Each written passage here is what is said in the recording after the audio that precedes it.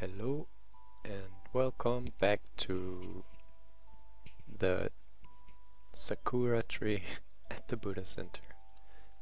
And we are here up in the tree. Just for now, I'm just gonna find the place where we left off yesterday, studying the talk given by the Venerable Mahasi Sayadaw on the Sakkapanha Sutta. And yesterday we just finished off a long chapter on unpleasant unpleasant feeling that should be sought or avoided.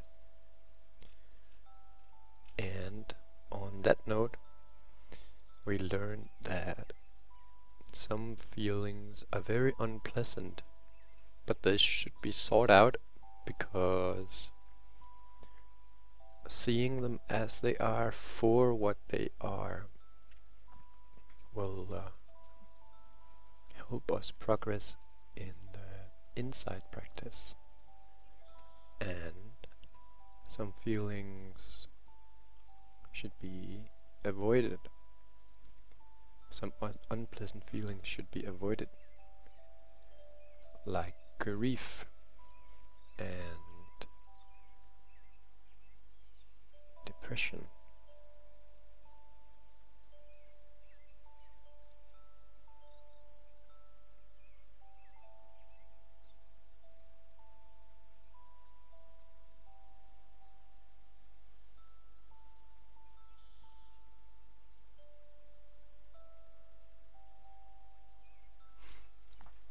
And so this is going to be part 4 and I'll make sure to put the links to the um, previous episodes below this video and the text.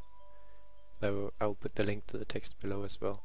And if you scroll down just a little bit over the halfway mark you will find the chapter or the title called Wholesome and Unwholesome Upekkha and Upekkha is equanimity.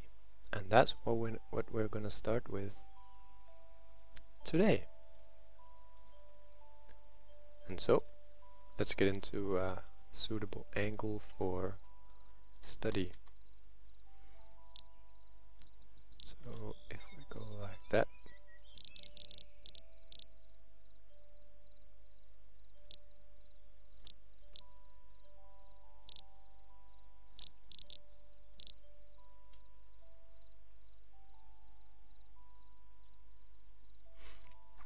This should be fine.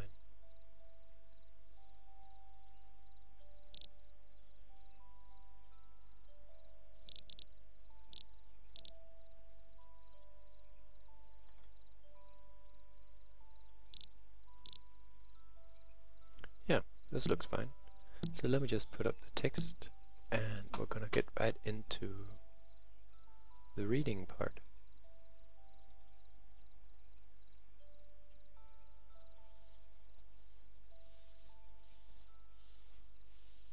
Okay, so what I want to do is try and see here. This looks fine. Okay. So we've got sound and we've got a picture and let's get into the text. So, episode or video number 4 on the Sakkapanha Sutta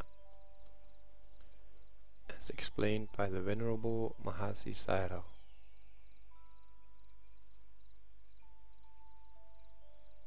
This discourse was given in December of 1977 uh,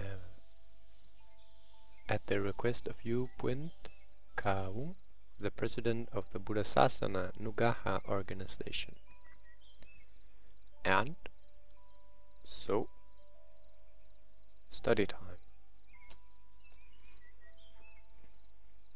Okay. Wholesome and unwholesome upekkha. Upekkha is neither joy nor sorrow, but indifferent feeling. It arises more often than other feelings, joy and sorrow being only occasional states of consciousness. but it is apparent only when the power of concentration is effective.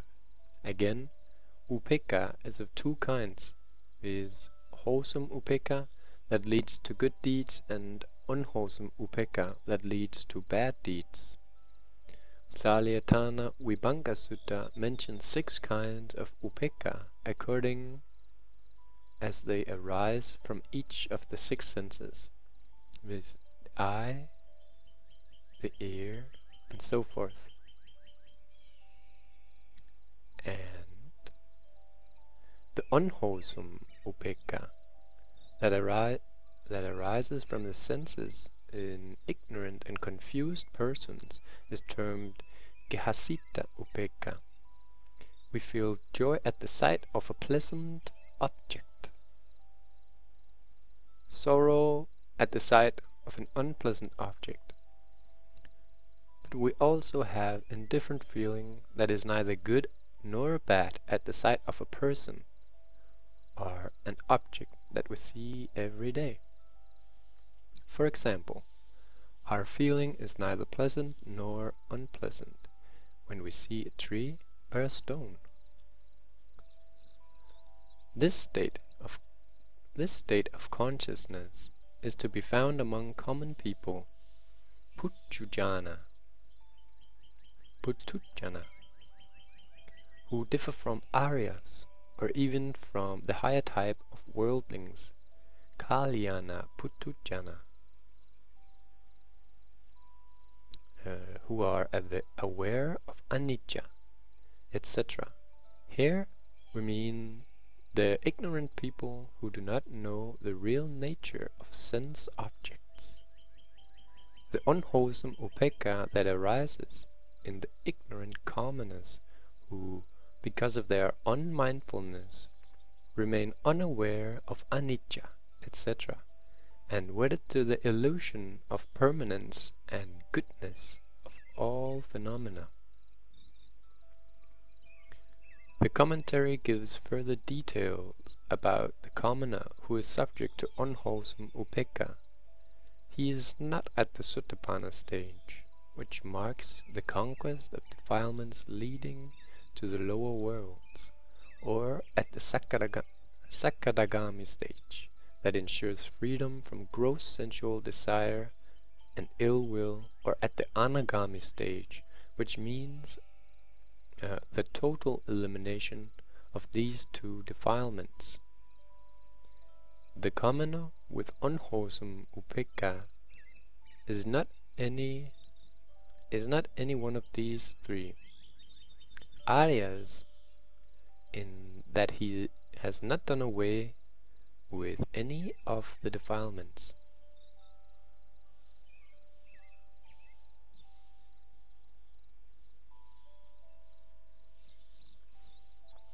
He is also not a person who has neutralized the effects of karma. It is only the arhat who can overcome the kammic effects such rebirth consciousness, etc.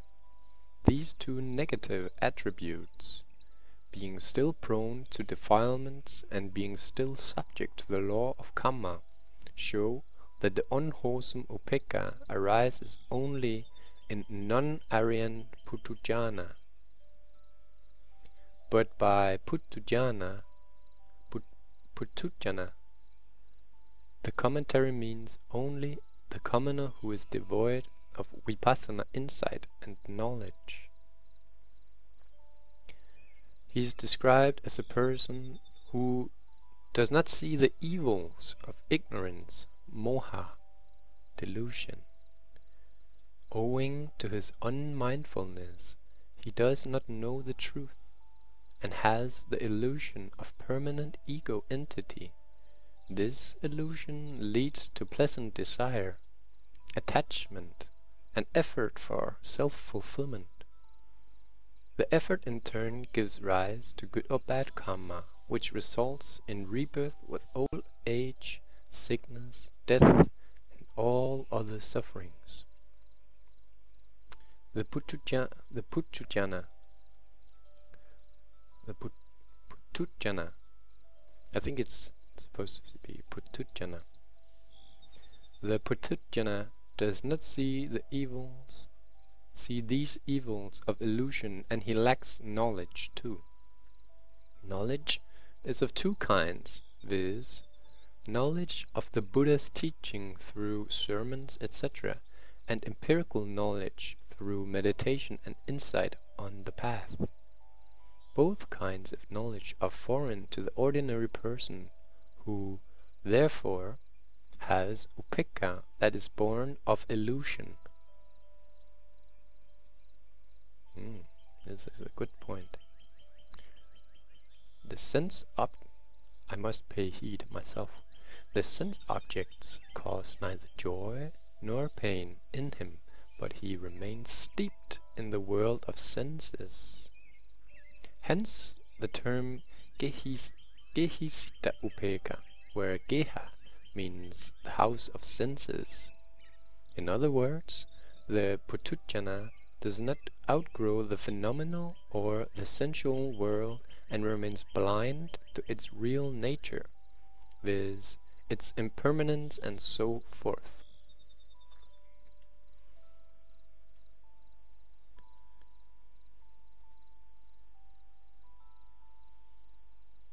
Okay, so we've got a visitor again again today.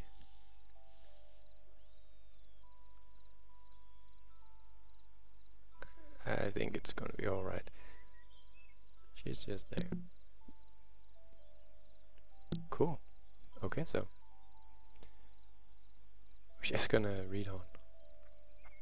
I'm sorry for any distractions. Try and keep your mindfulness and make sure you have the text on the screen. And here we go. In contrast to wholesome upekkha, In contrast to unwholesome upekkha, there is wholesome upekkha, which is which the commentary explains at length on the basis of the Salayatana Vibhanga Sutta. It is termed uh, nik, nikka, nikkamasita Upekkha. Okay, so it is termed nikkamasita Upekkha, renunciation-oriented upekkha. It is of six kinds, depending on the six senses. Being mindful of the passing away of all sense objects, the yogi realizes that every phenomenon is subject to impermanence, suffering, and dissolution. This insight into the reality of the universe leads to equanimity, upekkha, which helps the yogi to outgrow the sensual world and free himself from attachments. he is then indifferent to both pleasant and unpleasant sense objects. For the yogi who is mindful and has developed concentration, everything arises only to pass away instantly. The suttas stress this fact usually in the first place with reference to visual objects, but in practice it is first apparent in regard to the objects of contact and thought. If, while being attentive to the rising and falling of the abdomen, any thoughts arise, it vanishes instantly when the mind is fixed on it. With the development of concentration the yogi becomes aware of the rising and falling separately and later on his awareness extends to the, dis to the disappearance of the rising and falling in series. At the stage of Bhanga insight, he finds the belly, hands, etc. not as circumstances but as phenomena that vanish ceaselessly and instantly. The ceaseless dissolution of phenomena becomes more apparent with the development of Pankajnana, so that the yogi finally realizes the law of impermanence. knowing thus the nature of Nama-Rupa as it really is, he has neither joy nor sorrow, but remains just aware of the sense objects. This fleeting awareness leads to upekkha, which is more manifest when bhanga and sankha and sankharupekkha insights flash across the mind. At these stages on the path, the yogi is neither placed nor Oh, I'm sorry. At this at these stages on the path, the yogi is neither pleased nor displeased with the sight of pleasant or unpleasant objects. So, he is above attachment in regards to, uh, to sights, sounds, etc. His upekkha is beyond the sensual world, and in fact it, rem it main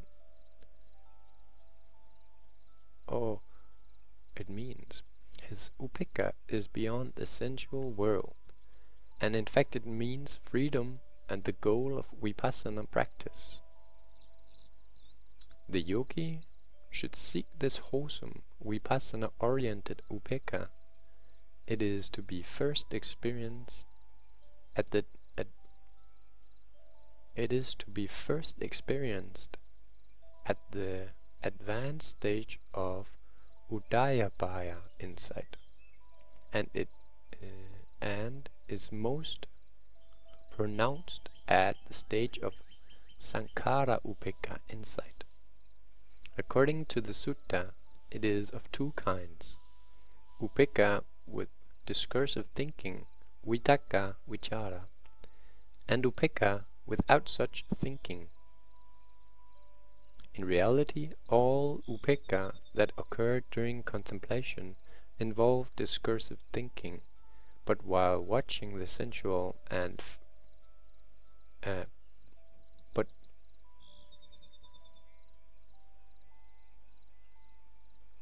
I'm sorry. Uh, let me go again at this line.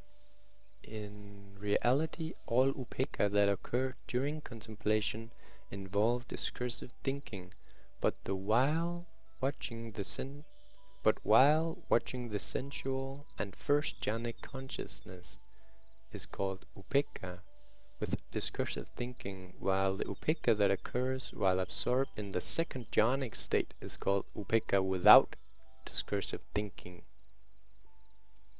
Of the two kinds, upekkha, the one without discursive thinking, is superior. So we start to note a theme that the mental states that is not uh, associated with discursive thinking or vitakka vichara is always to be found as superior. And we can see this as we have cases of the two duties, which is study and practice. Whereas one who has seen clearly for themselves through the practice will always seem to be superior to, say, study studies, those who only study but have not actually realized the Dhamma for themselves.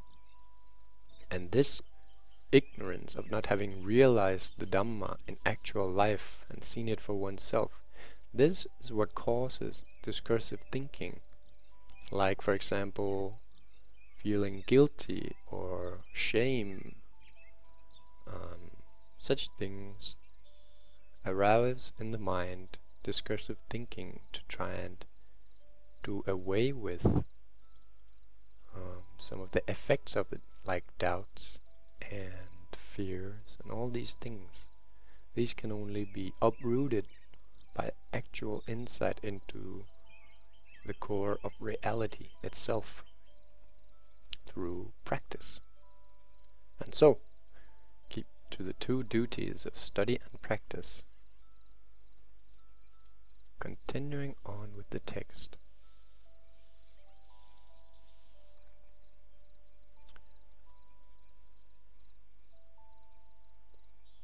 Okay, so I just had something on the screen there. And here is the text. Oops.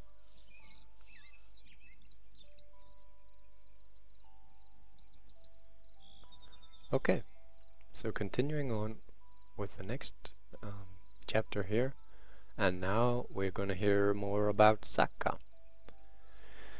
The rebirth of Sakka.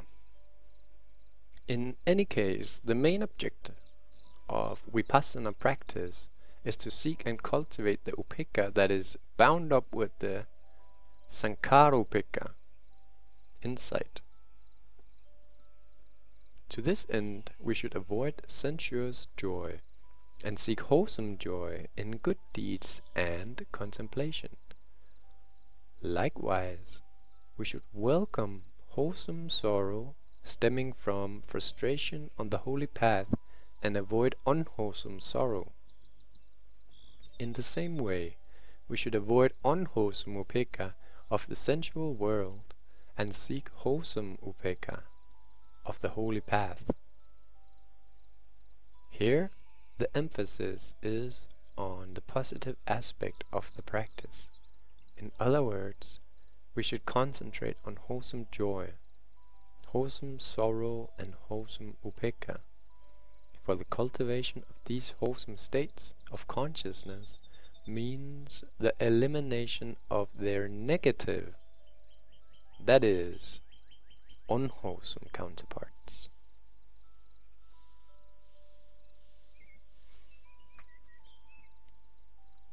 We should also eliminate wholesome sorrow through wholesome joy. This means that if we are depressed because of failure to make much progress on the holy path, we must overcome the depression by exerting effort for vipassana insight. Likewise, Wholesome joy must be rejected through wholesome upekkha. This uh, this wholesome of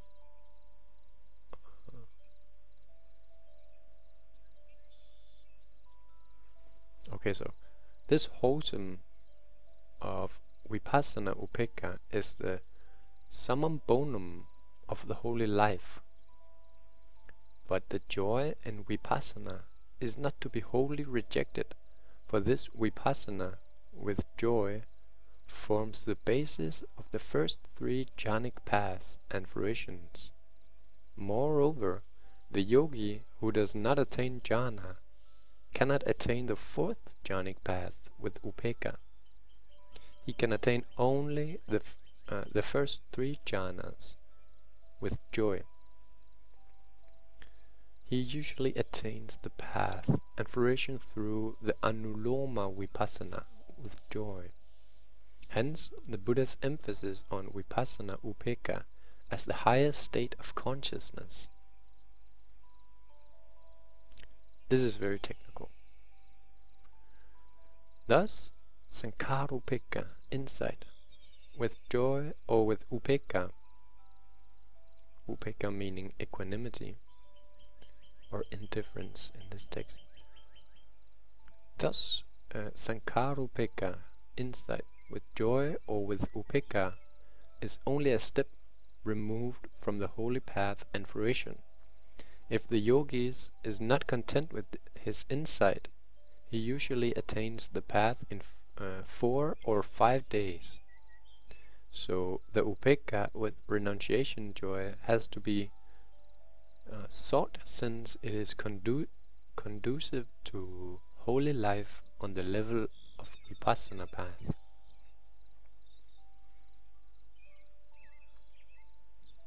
So the yogi should subordinate wholesome sorrow to wholesome joy and even wholesome joy to upekkha until he attains the sankarupekkha insight. So it goes from sorrow, wholesome sorrow of not having attained the path yet, to wholesome joy of renouncing the world, and to wholesome joy to upekkha until he attains the sankarupekkha insight. And insights, they're just momentary. And once we have seen them, they it's just one moment. It's not I'm not trying to complicate it, but insights are kind of special in this way that they change us, they change our whole being. Continuing on. This means the attainment of the four stages on the holy path and the extinction of desire, conceit, and belief. Thus, summing up, the Buddha says to Sakka, O King of Devas, the bhikkhu who, who avoids unwholesome dhammas and seeks the wholesome dhammas is committed to the middle way of the good life that leads to nibbana, the extinction of all defilements. While following the Buddha's discourse, Sakka watched his states of consciousness, cultivated wholesome joy and wholesome upekkha, developed insight knowledge, and became a Sotapanna. So Sakka became an enlightened being of the first degree, a Sotapanna. Surely an angel or a deva who has just become a Sotapanna is nowhere near death. Let's see what happens next. Continuing on with the text. This what was followed by his demise and rebirth as a new Sakka.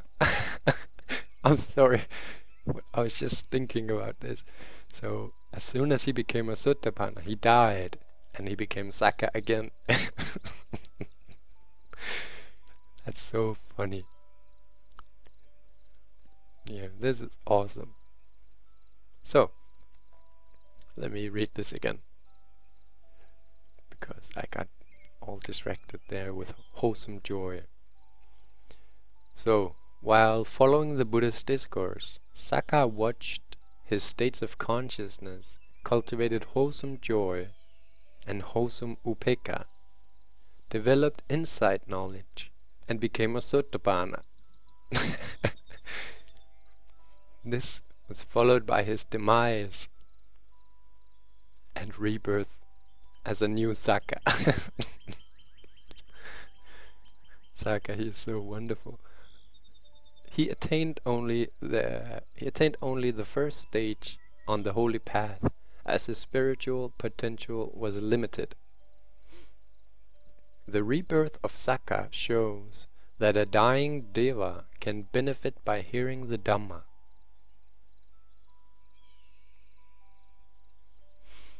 Through mindfulness of wholesome emotions, the yogi can make good progress on the holy path, and the most common of these emotions is wholesome joy. In Sri Lanka, one Pu Pusadewa in Sri Lanka, one Pusadewa Thera became an Arahat after contemplating the joy that arose in him at the sight of a Buddha image.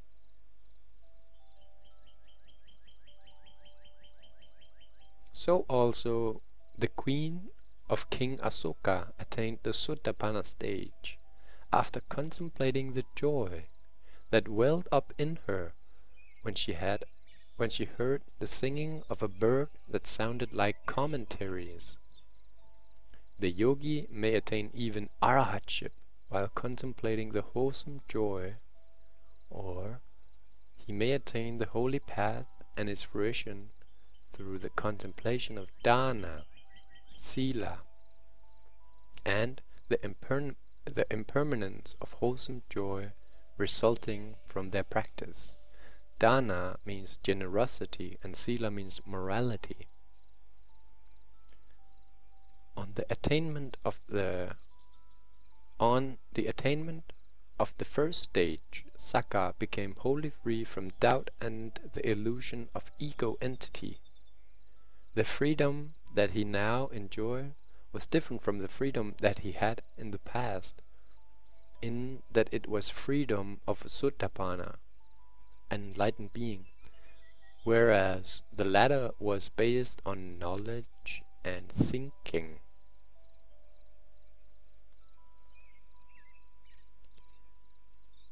And that was the rebirth of Sakka. what a wonderful story. I think it's worth just reading this part again for a third time just for our for the freshness of our memory's sake. So here we go. While following the Buddha's discourse, Sakka watched his states of consciousness, cultivated wholesome joy and wholesome upekkha, developed insight knowledge and became a Sotapanna. This was followed by his demise and rebirth as a new Sakka. He attained only the first stage on the holy path as his, as his spiritual potential was limited. So because he is the king of the angels, it would be well, mm, in a sense he would have a lot of duties and responsibilities being the king of all of the angels and so not leaving these duties and responsibilities and the heavenly life um, he could not attain to full release and so he is still Sakka up in Tavatimsa but now he is an enlightened Sakka which is to an infinite degree better than an unenlightened Sakka and that I think is enough from me. So we should continue with the text. And we're about 30 minutes into this part 4. Continuing on, Patimokkha Samvara Sila. Sakka asked the Buddha about the relation of morality to the holy life. Lord, what is the moral practice that protects one from the lower worlds or from unwholesome deeds, words, or thoughts. The Buddha says that there are two kinds of deeds, wholesome deeds and unwholesome deeds. He, he classifies speech and livelihood in the same way. Any action or speech or livelihood that contributes to good karma is wholesome and any action, etc that contributes to bad karma is unwholesome. Unwholesome actions are killing, stealing, and indulging in illicit sex. Abstinence from these actions constitutes wholesome acts. These are precepts for lay disciples, and there are many other precepts which the bhikkhus have to observe in accordance with the teachings of the Vinaya Pitaka. And so I only saw three rules there. We need more rules. We need five rules. So unwholesome actions are killing, lying, stealing, indulging in illicit sex, and the indulgence in alcohol or drugs that lead one to carelessness. Keeping these five rules instead of only the three rules it's much much better for one's spiritual development. As in Buddhism, anyone who tells a deliberate lie is thrown away. Just like mm, the leftovers in the alms bowl. Tossed away. Continuing on. Unwholesome verbal actions. Okay, so here we go. Unwholesome verbal actions are lying, slandering, abusing, and idle frivolous talk. Wholesome verbal actions means abstinence from these unwholesome speeches. To make one's living through unwholesome actions or speech is unwholesome livelihood. Wholesome livelihood is one that has nothing to do with such actions or speech. In short, for the layman, strict observance of the five precepts ensure moral purity. Some people may say that the five precepts refer only to lying and do not explicitly enjoin uh, do not explicitly enjoin abstinence from the other three kinds of wrong speech and wrong livelihood. But abstinence from lying implies abstinence from other kinds of unwholesome speech, since all these verbal evils involve the utterance of falsehood. Likewise, we avoid wrong livelihood if we avoid killing, etc. Since the five precepts forbid killing, etc., for one's uh,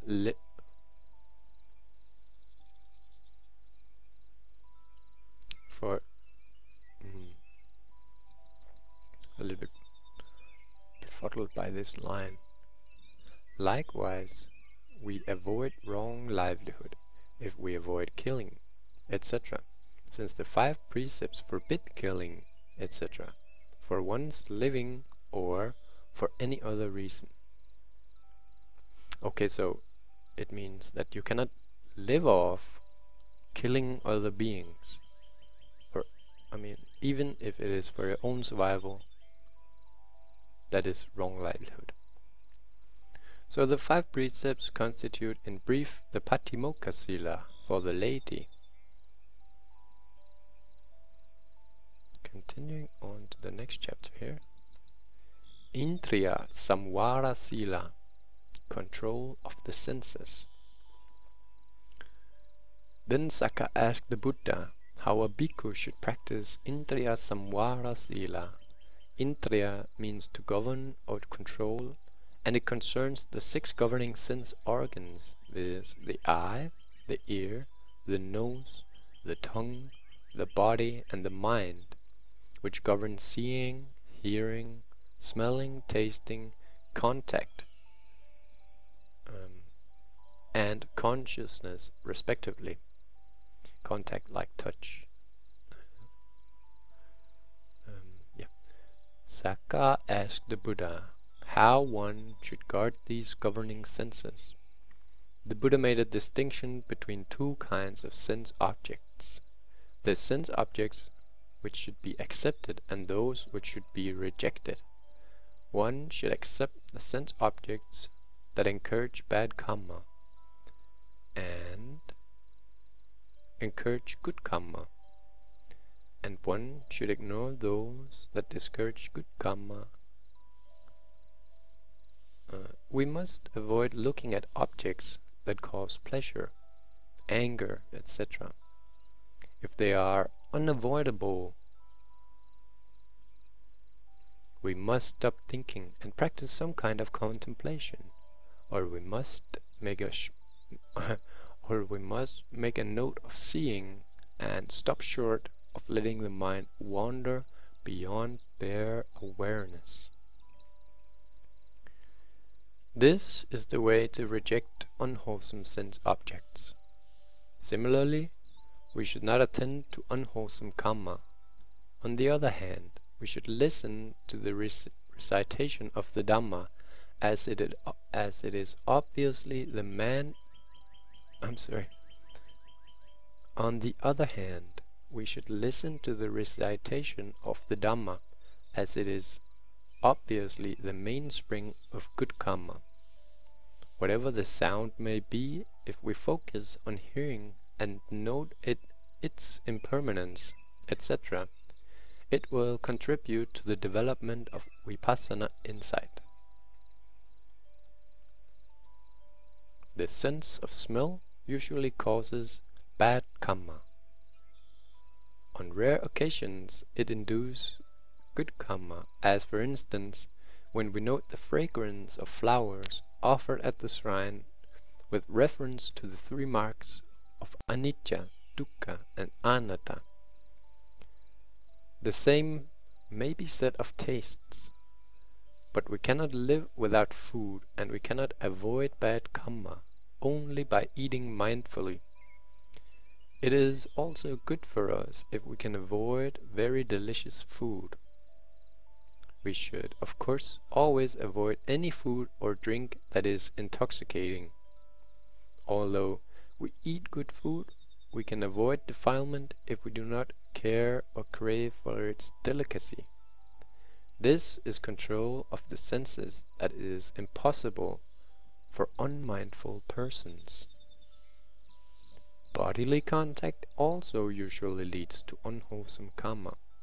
It is not possible to avoid all bodily contact, but we should avoid as far as possible that sexual contact that cause pleasure and attachment. Okay, so let me just get some water.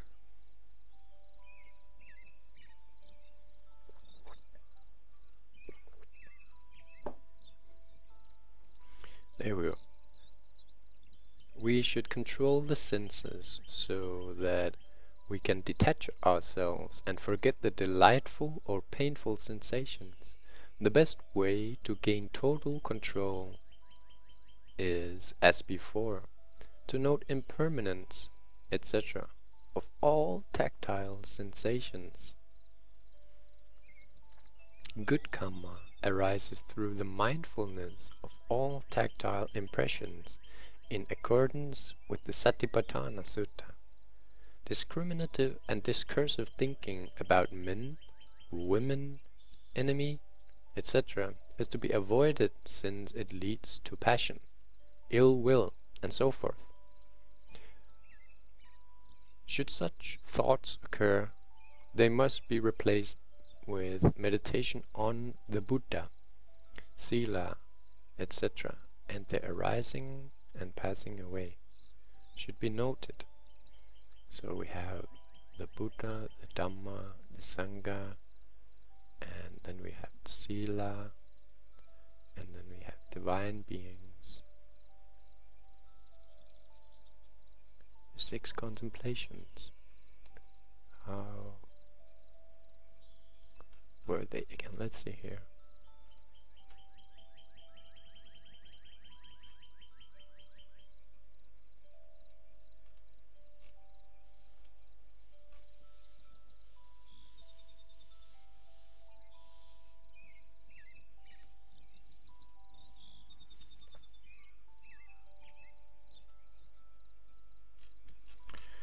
Hmm.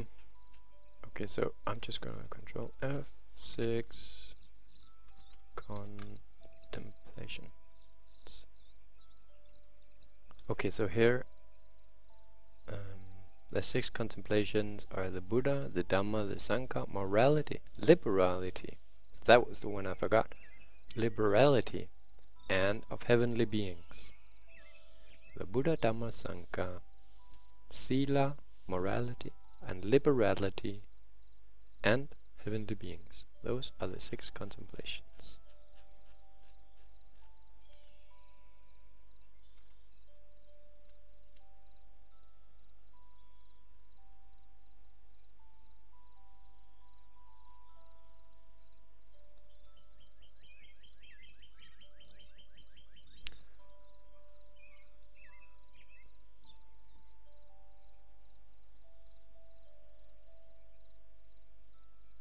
Okay, so yeah, we just ended here with such thoughts. Uh, should such thoughts occur, they must be replaced with meditation on the Buddha, Sila, or I mean the Buddha, Dhamma, Sangha, Sila, liberality, or heavenly beings, such as Brahma and Sakka. And the mind will become fresh and clear by contemplating those six. Continuing on. There are many other suttas that contain the Buddha's teaching about the control of the senses. Typically, of these teachings is the following advice. When you see a man or a woman with the eye, you should not think of his or her physical features. You should avoid making a note at the, uh, you should avoid making a note of the eyes, of the eyebrows, and other parts of the body in detail that will surely give rise to defilements. Like for example, we could see that there is this woman laying behind my avatar and we should not give any attention to her at all because she is not wearing white. She doesn't seem like a meditator. Is she holding a glass? She must be up to some trouble. are you being mindful? Is my question. but continuing on. Men should not think of a woman's physical features as a whole, and likewise women should avoid doing so vis-a-vis a man. For such thinking fuels passions, and so do thoughts about the particular features of the opposite sex, such as hair, mouth, breasts, and so forth. The yogi must remain barely aware of seeing and avoiding thinking about the physical form as the whole or the different parts of the body of a human being. The Buddha points out that evils arising from lack of control of the senses. One who does not guard his senses is forever beset with craving and ill will, says the Buddha. But the control of the senses but the control of the sense must be exercised in the proper way. The yogi must avoid looking at unwholesome objects, pleasant or unpleasant, that he has once seen. If he sees it by chance, he pays no attention to it, uh, to its form, color, etc., or retains no impression of them he keeps himself barely aware of seeing and bears in mind their impermanence, etc. The same may be said of uh, other sense, uh, such as hearing, smelling, eating, touching, and thinking. With the development of concentration, the yogi can in this way focus on all psychophysical phenomena and realize their anicca, dukkha, and anatta, thereby leaving little room for the emergence of defilements. This is the best way of controlling the senses, and through such control the yogi can attain the holy path and the fruitions after passing through the stages of insight successively. The attainment of arahantship in this way is mentioned in the following story of Mahatissa Thera from the Visuddhimagga.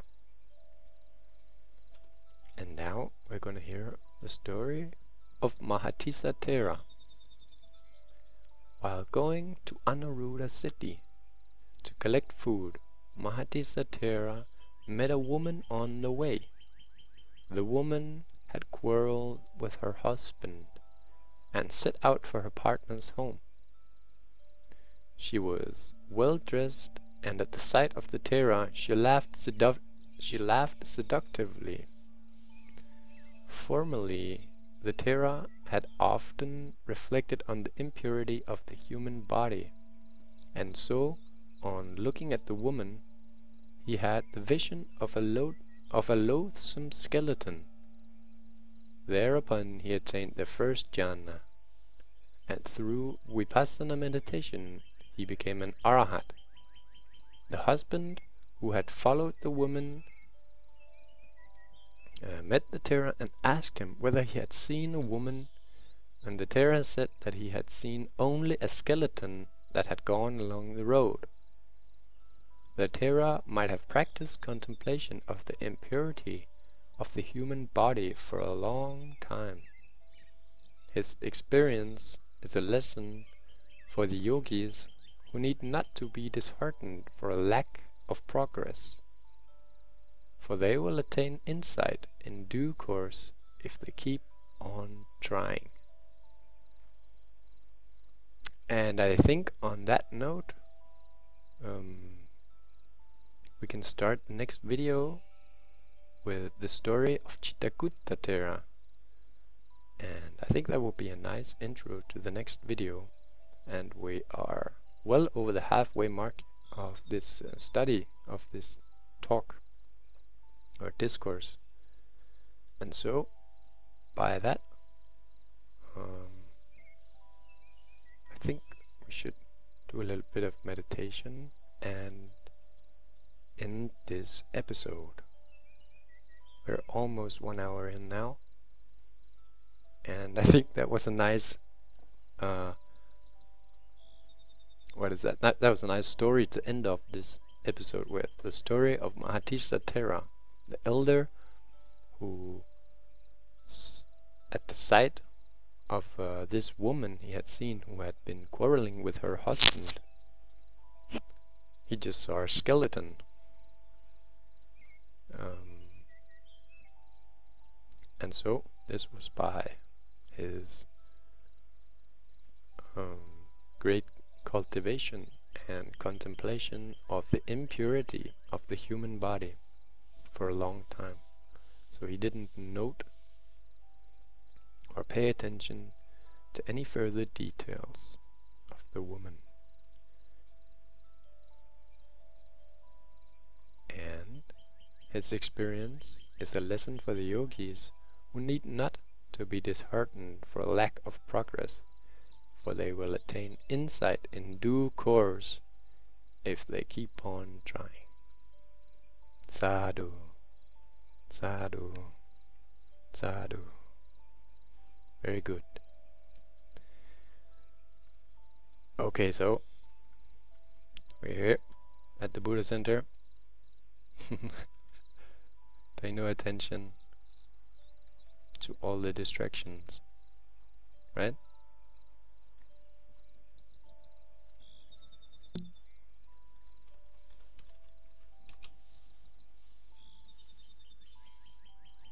And I forgot to do the intro, so gonna do an outro. Namo tassa bhagavato arahato samma sambuddhassa. Homage to the Blessed One, the Worthy One, and the rightly self-awakened one. And thank you so much for following along. And, oops, let me just see here if we can finish off with a nice angle. What is a nice angle? I think it's better to just kind of disappear up into trees. okay, here we go. Gotta get out of here. Like so. A little bit down. Okay, so there is the Sakura tree.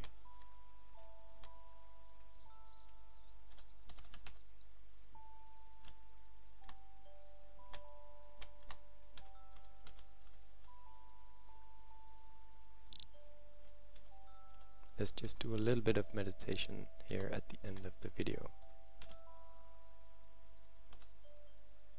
Okay, so a few minutes of meditation together. And once again, thank you so much for listening. And don't be disheartened if the practice seems hard. Just remember to focus on the wholesome unpleasant feelings as they propel one into a much, much deeper and advanced spiritual practice. And as we just heard here, I think that was a good line. There's no need for yogis or meditators, as I call them, to be disheartened for lack of progress. It's much more important to focus on the goodness that one experiences here and now as one is practicing mindfully the satipatthana, being mindful of body, feelings, and thoughts, and the dhammas.